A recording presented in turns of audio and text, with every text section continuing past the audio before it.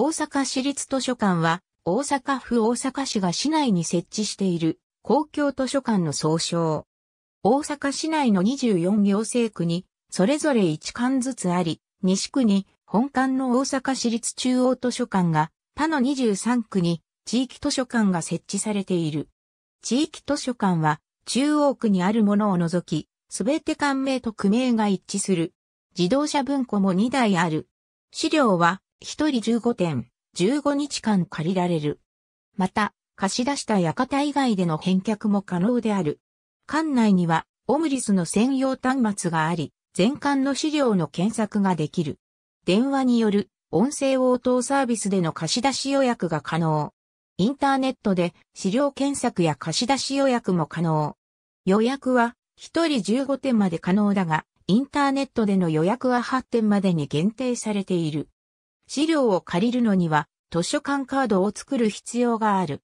図書館カードは24巻それぞれで発行しており、色が違う発行した館以外でも使用は可能であるが、インターネット貸し出し予約は発行した館に限られる。図書館カードなどに描かれているイメージキャラクターはオムリン。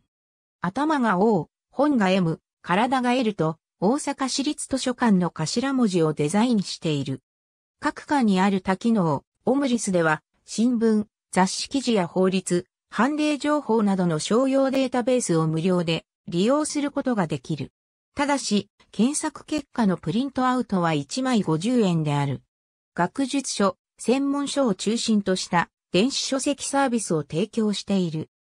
1921年に当時の4行政区に1巻ずつ、西区阿波座一番町に阿波座図書館、北区西野田玉川町1丁目に西野田図書館、南区三倉跡町に三倉跡図書館、東区清水谷西の町に清水谷図書館が開館。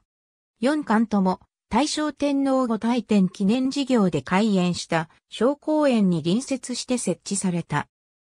1925年の大阪市第二次市域拡張に伴って西成区花園町に旧西成郡今宮町立図書館を継承した私立今宮図書館。翌1926年には東成区市議の町に旧東成郡上東村から寄付された建物を転用した私立上等図書館が開館し、計6館となった。しかし、太平洋戦争の激化に伴い、清水谷図書館は1944年に建物疎開の対象となって取り壊された。清水谷図書館の蔵書は、南区うなぎ谷東の町の旧育英商工学校校舎に移動させ、大阪市立育英図書館と解消した上で、蔵書整理が済み次第移転開館する計画だった。しかし、実際の開館には至らないまま、1945年3月13日の第1回大阪大空襲で建物を消失した。また、阿波座、西野田、三倉跡、上東の私立図書館4館は1944年に戦時託児所に転用されて休止となった。残った今宮図書館も第1回大阪大空襲で消失し、私立図書館の機能は停止した。なお、休止中の阿波座、三倉跡の2巻も、この大空襲で消失している。終戦後の1946年、南区南波新地5番町の大阪市立聖火、小学校内に大阪市立育英図書館として復興開館した。1950年には北区新川崎町の桜宮公会堂内に移転し、大阪市立図書館と改称した。1952年には天王寺区茶臼山城の天王寺公園内に大阪市立図書館本館が竣工し、従来の本館を文館扱いに変更した。その後1961年には西区北堀江池通り6丁目に大阪市立中央図書館が設置された。これに伴い、従来の大阪市立図書館本館を中央図書館の文館扱いに変更して、天王寺図書館へ従来の大阪市立図書館文館も桜宮図書館に改称された。1970年代から1980年代には各行政区に順次地域図書館を整備し、1989年には全区に図書館が設置された。大阪市立桜宮図書館は、1950年、大阪市北区天満橋1丁目1番1号の旧、桜宮公会堂2階に、大阪市立育英図書館を移転させる形で、大阪市立図書館として開館した。1952年に天王寺へ本館が移転した後は、市立図書館分館となり、1961年の中央図書館設置に伴い、桜宮図書館に改称される。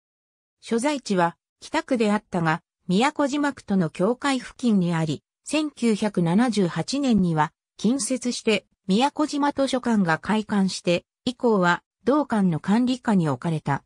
1980年に廃館。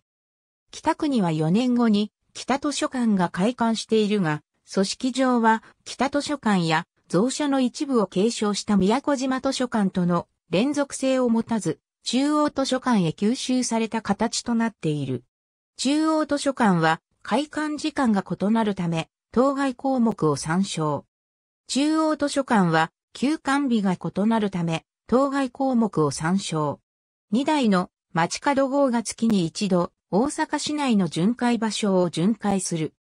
大阪市立図書館を構成する全24館が2016年から取り組んでいる事業で図書館の利用者から街の思い出を収集し、図書館職員が補足、追加情報を加えて公開するというものである。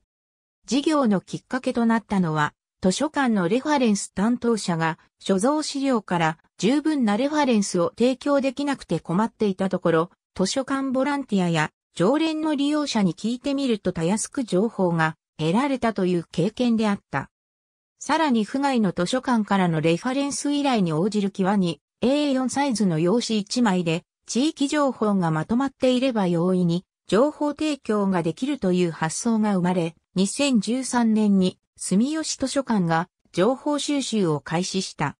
この事業で収集する思い出は過去の出来事に限定しておらず、将来的に過去となる現在の出来事も収集対象となる。図書館利用者は館内に設置された用紙に思い出を記入し投稿する。図書館職員は投稿された情報に、レファレンス業務で培った郷土資料情報などから情報を付加して、利用者の主観的な思い出に客観的事実を補足する。こうしてまとめられた思い出は、館内で公開し、一般利用者に提供する。こうすることで、正式名称と利用者の間の故障が違う施設であっても、情報の検索ができ、補足情報に図書館の所蔵資料情報を書き込むことで、利用者に資料案内をすることができる。ありがとうございます。